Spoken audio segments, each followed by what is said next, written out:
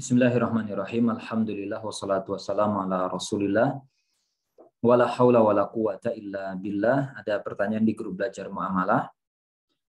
Eh, sebagai bentuk servis lebih saya kepada pelanggan ketika ada pelanggan datang ke tempat saya dan membeli, namun belum bisa langsung membawa kambingnya saya.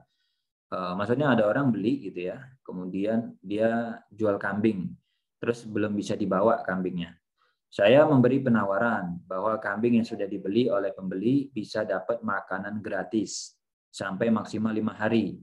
Oh, berarti intinya saya rawat secara cuma-cuma dengan cara beri makan sampai pembeli datang mengambil dengan maksimal lima hari. Oke, berarti bilang kayak Pak, Bapak udah beli ya, belum bisa bawa. Oke, nggak apa-apa, kita rawatin, kita kasih makan, Bapak nggak perlu bayar deh, gitu ya. Ini kita yang ngurus, gitu kan. Tapi kalau lebih dari lima hari, selisih biaya lebih akan ditanggung oleh pembeli. Berarti kalau misalkan, tapi Pak kalau udah masuk hari ke-6 ada biaya ya eh, jasa nasi makannya itu per hari sekian. Gitu ya. Apakah syarat seperti ini diperbolehkan? Jazakallah khair Ustaz atas jawabannya. Jawabannya boleh, gitu ya. Tidak ada masalah. Karena gini, sebenarnya gitu ya. Sebenarnya begitu sudah deal akad gitu ya. Begitu sudah deal akad terjual barang, itu kan sebenarnya ngasih makan, kemudian merawat, itu kan urusan pembeli sebenarnya. Bukan urusan Anda kan. Nah, ya pembeli bawa gitu, mestinya kan begitu.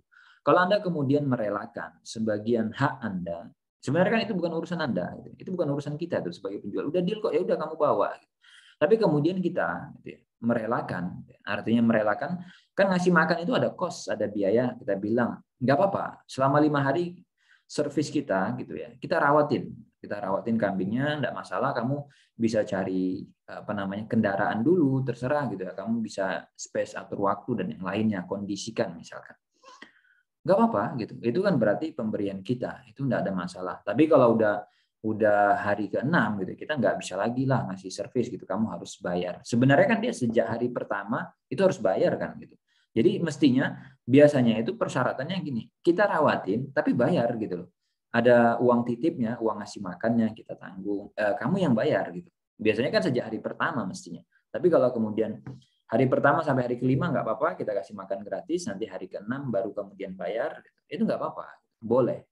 Jadi tidak ada masalah. Wallahu taala alam bisawab.